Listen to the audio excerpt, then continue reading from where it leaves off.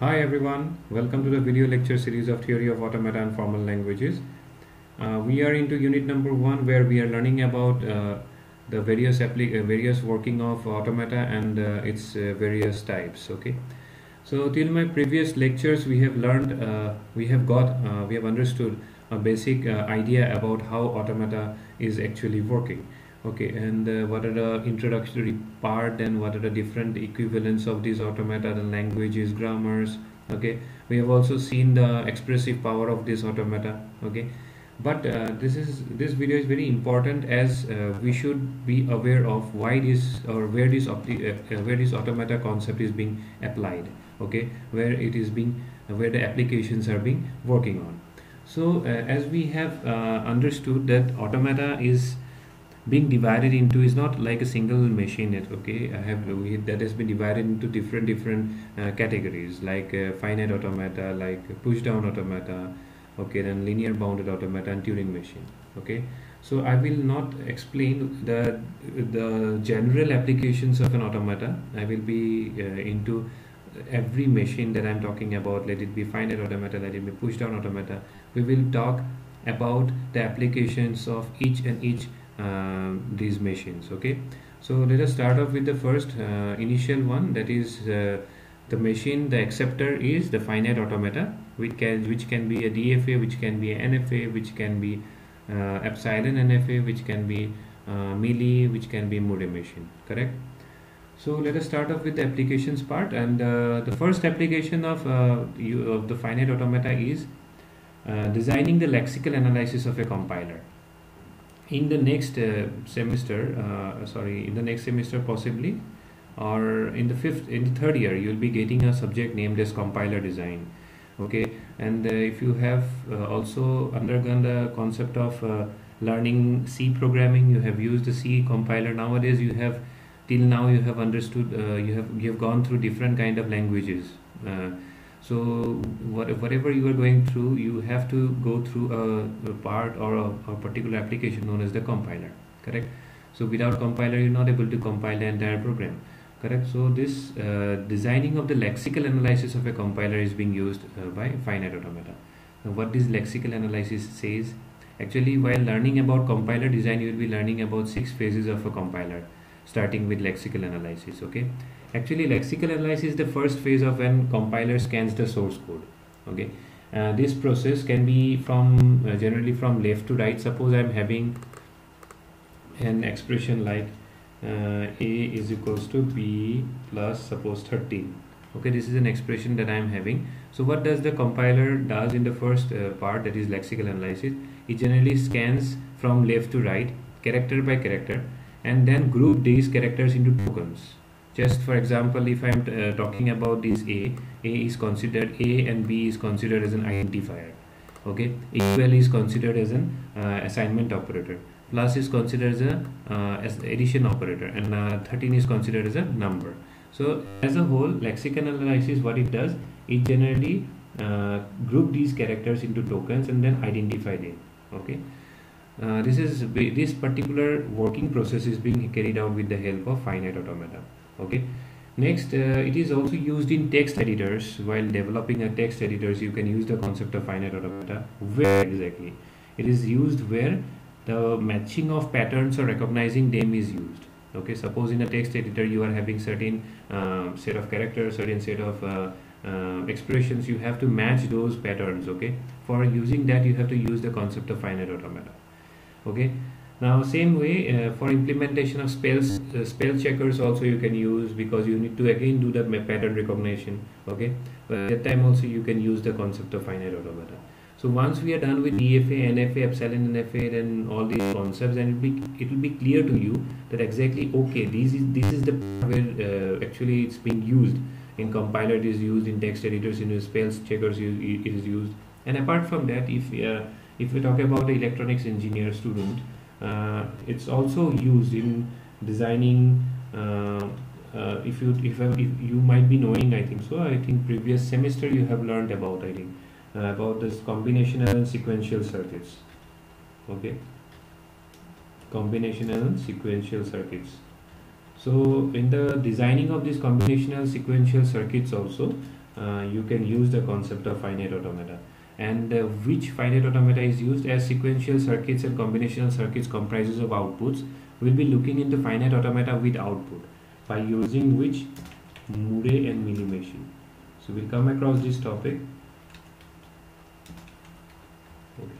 so this is what uh, uh, a little bit of brief about um, sorry I made a, made a mistake. Okay fine so Moore and Mealy okay. So this is the basic applications of where finite automata is used okay. You should be aware of it uh, because uh, it will be helpful for you while you you will be learning about finite automata. Then you will be coming across okay this is the part where it is being used. Okay now coming into the next uh, machine which is more powerful than finite automata is pushdown automata okay so basically this is an important application. Uh, it is used for implementation of any stack applications as because the in pushdown automata we use a memory concept. And that is the, the stack structure we used to use okay? Then for designing the syntax analysis is also used okay? Now one more phase uh, you can say the second phase of uh, compiler designing a compiler is the syntax analysis.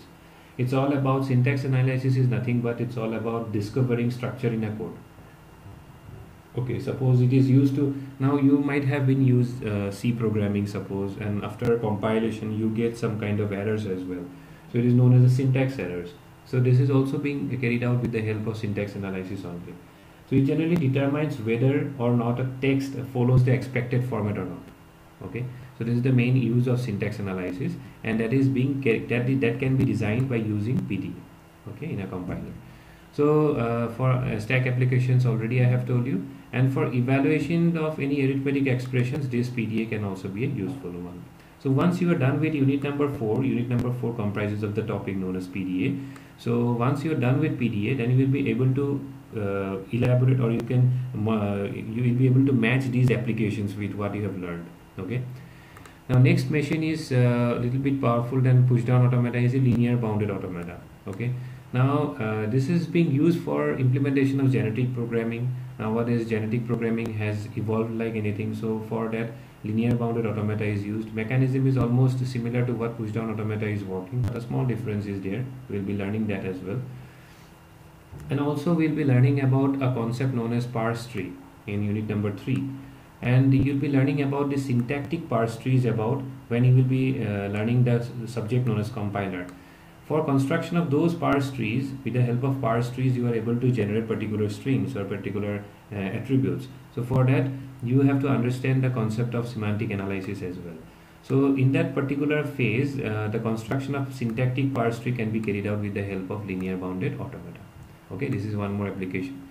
And finally coming to Turing machine. So I will take a lot little bit of time from you okay because uh, Turing machine before stating about or explaining anything about Turing machine I will get back to a little bit of history part okay?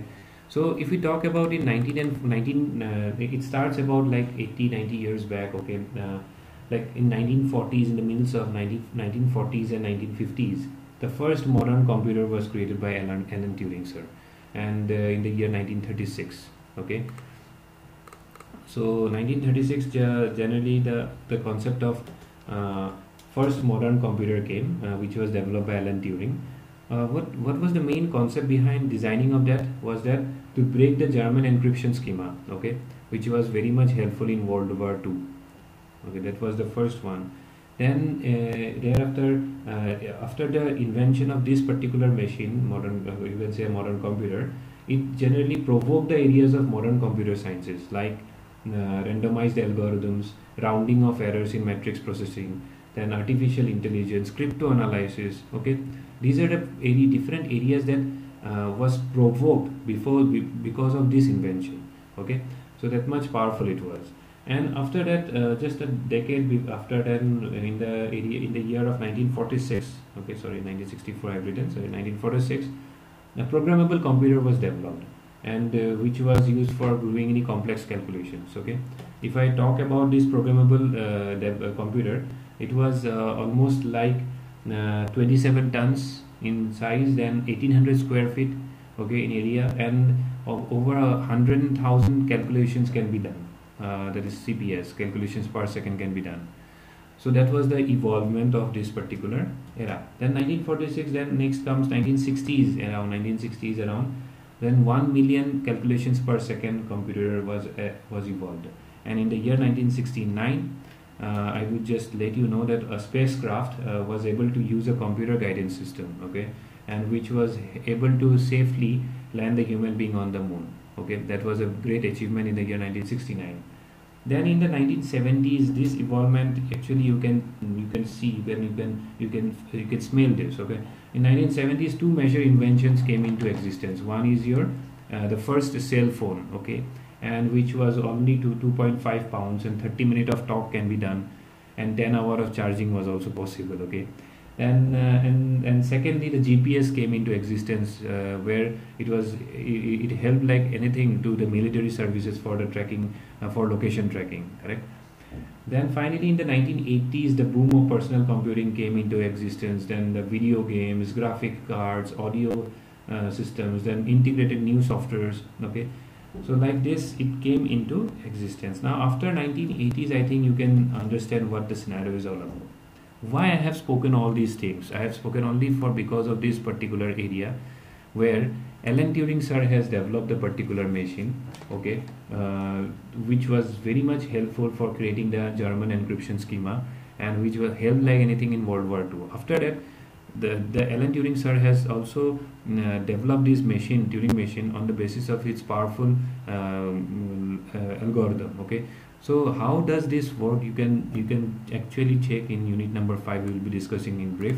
But this was the most powerful machine till now under which uh, entire processing was based on this powerful machine okay?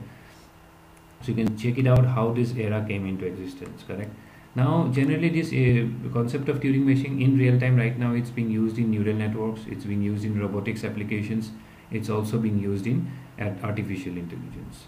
So uh, this is how I have explained to you what are the different applications because studying any subject is important but studying that subject in three criterias what is the meaning of that subject how it is being applied and wh- where it is how it is being used and how, where it is being applied these three things you should know it so that's why this applications of automata theory is very important as you are studying this particular subject. So i think it's clear to everyone how these applications of different automatas has been uh, segregated into the different computer applications field okay?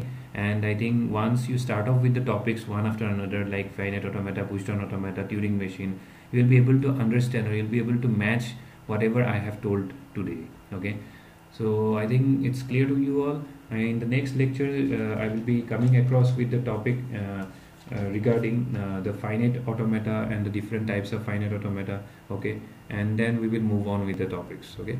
So thank you for watching the video. You have a, any options or any suggestions from your side then please uh, comment down below and do subscribe my channel so that you'll be getting updated videos okay? Thank you